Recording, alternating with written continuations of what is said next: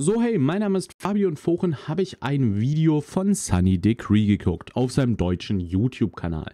Und dementsprechend trug dieses Video den Titel Alles verkauft. Und deswegen dachte ich mir, hm, hat Sunny jetzt alle seine Kryptowährungen verkauft und habe mir dieses Video natürlich mal angeschaut. Und um was es in diesem Video primär ging, ist, dass er seine Altcoins verkauft hat und jetzt gerade aktuell nur Bitcoin hat. So jedenfalls laut seinem Video. Er hat auch so ein bisschen was bei Ethereum kritisiert, hat gesagt, ja, das läuft irgendwie momentan nicht alles so schnell, wie es eigentlich gerne laufen sollte und auch dieser Vorschlag, äh, mit der Bitcoin Cash Blockchain findet er nicht so cool. Ich kann euch das Video gerne mal unten in der Videobeschreibung verlinken. War auf jeden Fall kein schlechtes Video. Und ähm, ich habe mir gedacht, ich mache so ein ähnliches Video, in dem ich so ein bisschen aus einer anderen Perspektive das Ganze erzähle. Ich denke, das ist vielleicht für den einen oder anderen auch mal ganz spannend. Wie wir jetzt gerade hier schon sehen können, ich habe ja, glaube Ethereum bisschen unter 300 Dollar nochmal nachgekauft. Jetzt momentan sind wir bei 230 Dollar, also äh, habe ich ein bisschen Verlust gemacht, ist aber auch tatsächlich gar nicht so schlimm. Ähm, mit Bitcoin bei 10.700 Dollar sieht es gar nicht so schlecht aus, ist natürlich auch ein bisschen gefallen. Ich glaube, wir hatten einen Peak von etwa 13.000 oder so vor einiger Zeit, so vor etwa einer Woche oder vielleicht auch zwei Wochen. Litecoin ebenfalls wieder ein bisschen runtergegangen, unter die 100 Dollar und so geht es eigentlich durchgängig weiter. Hier sieht man zum Beispiel bei EOS hier so wie so eine Treppenstufe. Ja, gerade, dann geht es wieder runter, dann relativ gerade, geht wieder runter. Sieht man hier dementsprechend. Oder auch bei anderen Coins sieht es tatsächlich gerade ziemlich schlecht aus. Ich glaube, Tron war mal ganz kurz vor den 4 Cent, momentan wieder bei 2,5 Cent. Also geht es auch nicht wirklich voran, genauso wie bei Dash. Und sehr viele Leute sagen jetzt natürlich, ja, dies, das. Momentan ist ja so ein bisschen eine Bitcoin-Season. Bitcoin geht immer ein bisschen nach oben, Bitcoin steigt und gewinnt an Dominanz, aber eben die ganzen Coins fallen ab. Können wir mal ganz kurz angucken hier dementsprechend. Die Bitcoin-Dominanz ist hier in diesem Chart. Äh, das obere, was ihr seht, diese obere Linie, diese orangene ist der Bitcoin. Und da können wir mal ganz kurz gucken. In den letzten, im letzten Monat, im Monatschart Dementsprechend sehen wir eigentlich ein konstantes Wachstum. Schauen wir mal auf den 3-Monats-Chart, sieht das Ganze wahrscheinlich ebenfalls auch so aus. Also wir sehen hier, Bitcoin ist von 50% auf mittlerweile 65% gestiegen. Innerhalb von einem Jahr ähm, sieht man ebenfalls auch ein relativ gutes, konstantes Wachstum. Schauen wir uns das Ganze jetzt mal an seit 2017, weil da ist es noch ein bisschen spannender. Denn Bitcoin ist hier ziemlich nach unten gegangen, als diese ganzen Altcoins relativ nach oben gegangen sind. Schaut euch mal ganz kurz das an, was hier steht. Wir sehen hier, Bitcoin-Dominanz ist 38%, Ethereum-Dominanz am 12. Juni 2017 ist 31%. Das ist krass. Ja, Bitcoin Cash Dominanz gibt es tatsächlich noch gar nicht. Ich glaube, zu dem Zeitpunkt gab es noch gar kein Bitcoin Cash. Aber es ist wirklich spannend tatsächlich, wenn man sich das Ganze mal so anguckt. Also hier Bitcoin und Ethereum waren tatsächlich nur 7% auseinander von der Dominanz.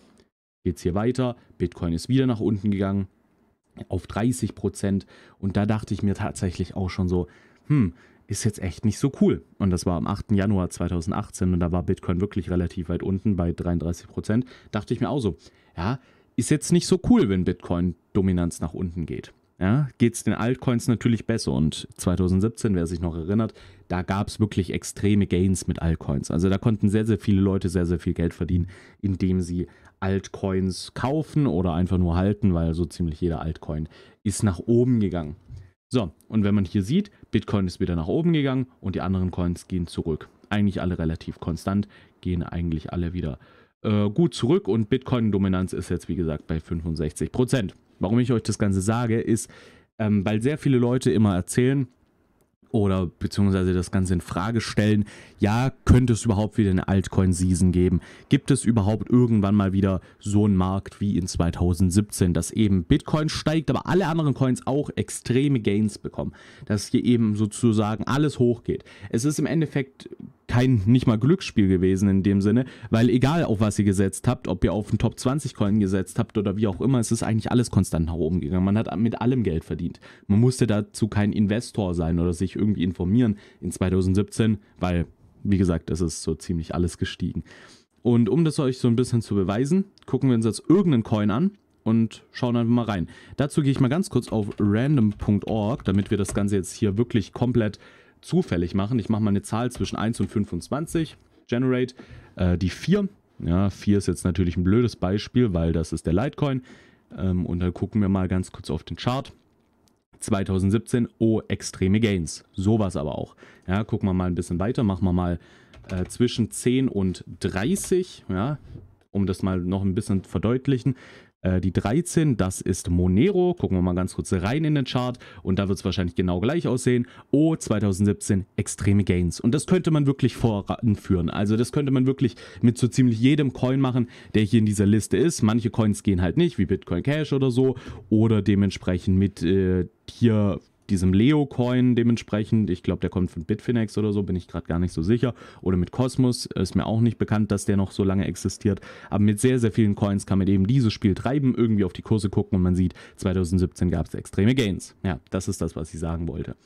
Und wenn man jetzt hier irgendwie auf die Idee kommen könnte, ja, so ein Altcoin-Markt wie 2017 könnte es ja theoretisch mal wieder geben, dann ist das keine abwegige Vorstellung, sagen wir es einfach mal so. Das ist meine Meinung natürlich und kein Financial Advice oder wie auch immer, Finanzberatung ist es natürlich nicht, sondern es ist alles nur meine Meinung. Aber ich denke persönlich, es gibt keinen Grund, warum momentan und warum in der Zukunft nur noch Bitcoin profitieren wird von diesem ganzen Kryptomarkt. Ich sehe da keinen vernünftigen Grund. Natürlich kann es sein, dass so ein Ethereum nicht so starke Gains kriegt oder ein XRP oder ein Litecoin, wie auch immer. Aber es gibt verschiedene Coins mit verschiedenen Anwendungsbereichen. Und ich denke nicht, dass jeder Coin wieder nach oben geht, so wie das Ganze in 2017 der Fall war, sondern dass nur bestimmte Coins mit bestimmten Einsatzmöglichkeiten dementsprechend Gains kriegen, aber die dann auch dementsprechend ganz gut. Man könnte es vielleicht auch mit 2017 vergleichen, aber das ist jetzt alles hier irgendwie Wahrsagen und was weiß ich, für einen Scheiß ähm, hier irgendwie in die Zukunft blicken. Das kann natürlich keiner voraussagen, aber ich halte es nicht für unrealistisch, dass wir irgendwann wieder eine Alt-Season sehen und dass auch Coins dementsprechend, die einen guten Verwendungszweck haben, dementsprechend auch ganz gut steigen werden. Man hat es ja in der letzten Zeit auch gesehen mit dem BNB, also mit dem Binance Coin, der war ja vor einiger Zeit nur bei 5 Dollar oder so am Anfang des Jahres. Können wir mal ganz kurz reinschauen oder Ende letzten Jahres. Ähm, der war hier immer so im Dezember, war er so bei 5 Dollar, auch noch im Januar etwa. Oder? Nur noch im Dezember? Ja, also im Januar bei 5 bis 6 Dollar. Und 2019 ist der jetzt auf 30 Dollar hochgegangen. Wenn man hier guckt, im Peak war der bei etwa 40 Dollar sogar schon fast. Das ist extrem und das nur innerhalb von einem Jahr. Also es gibt Coins, die gehen natürlich trotzdem nach oben ähnlich wie der Bitcoin dementsprechend. Aber ich denke trotzdem, dass nicht jeder Coin dementsprechend äh, weiter nach oben geht. Also was ich damit sagen möchte ist, jeder YouTuber, der momentan erzählt, ja, es gibt keine Altcoin-Season mehr, momentan ist nur Bitcoin äh, the place to be oder beziehungsweise der Coin, in den man jetzt investieren sollte. Ich denke, der verbaut sehr vielen seiner Zuschauer einfach irgendwelche Chancen ich möchte nicht sagen, investiert jetzt in Altcoins und Bitcoin ist irgendwie scheiße, sondern ich möchte, dass man sich, bevor man investiert, sicher ist, was man tut und auch sicher ist, ähm, dass man sich richtig informiert hat aus verschiedenen Quellen. Und da irgendwie nur zu sagen, geht momentan jetzt in Bitcoin, weil die Dominanz steigt oder weil es vielleicht keine Altcoin-Season mehr gibt, ähm, finde ich ein bisschen schwachsinnig, um ehrlich zu sein.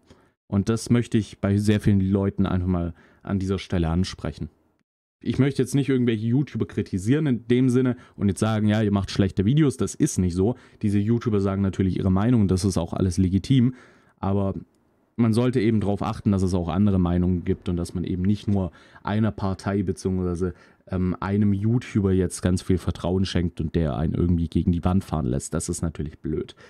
Ja, das ist eigentlich schon die Message dieses Videos.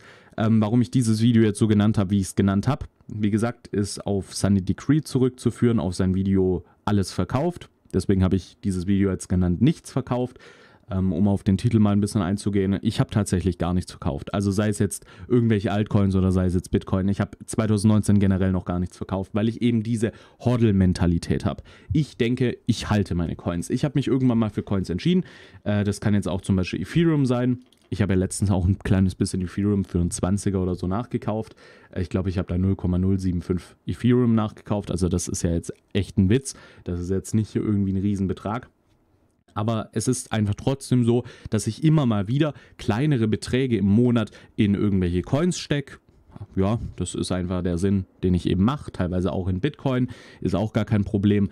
Ähm, aber man sollte sich, wie gesagt, einfach davor informieren, was man eben tut. Und sowas immer zu sagen, ja, tradet oder verkauft da am besten oder kauft hier wieder ein, das finde ich irgendwie komisch. Also ganz ehrlich, ich denke, diesen ganzen Krypto-Space bringt man nicht voran, indem man die ganze Zeit an- und verkauft, weil sowas kann man vielleicht machen, wenn man an der Börse handelt oder wenn man ganz, ganz viel Geld verdienen möchte. Aber wer jetzt wirklich diese Einstellung hat, dass Bitcoin wirklich teilweise was verändern kann in dieser Welt, in der Finanzwelt, dann ist das, was wir eben momentan sehen mit diesem ganzen Jahr, verkauft mal da und kauft wieder da und zahlt diese und diese Steuern für das und das, weil ihr irgendwie so und so viel getradet habt und wie auch immer, finde ich irgendwie Schwachsinn, ganz ehrlich. Also ich bin kein Fan vom Verkaufen, um ehrlich zu sein. Und ich habe auch schon ganz, ganz lange nichts mehr verkauft.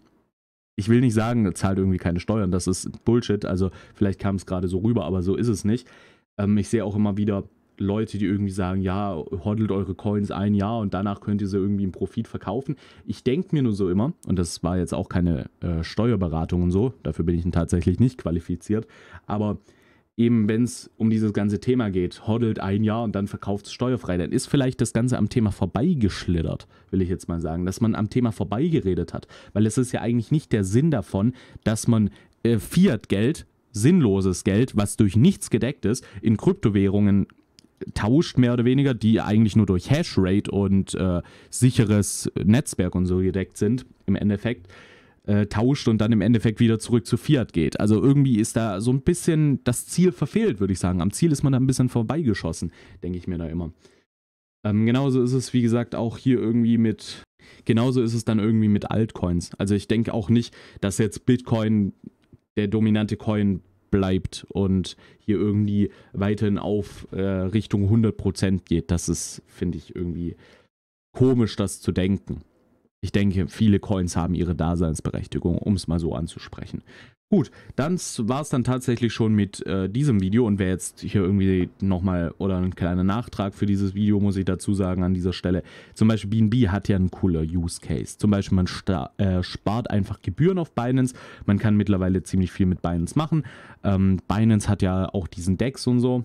Kommt ja bald, soweit ich das weiß, oder den gibt es vielleicht auch schon. Bin ich kein großer Fan davon, aber sowas ist eben ein Use Case zum Beispiel und sowas kann der Bitcoin halt nicht.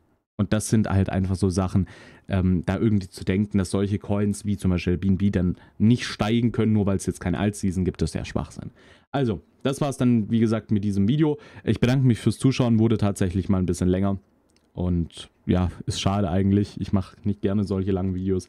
Aber wurde jetzt auch mal Zeit und ich bedanke mich fürs Zuschauen. Ich wünsche dir auf jeden Fall noch einen schönen Tag und schreib mal deine Meinung unten in die Kommentare. Bis dahin, ciao und bis bald.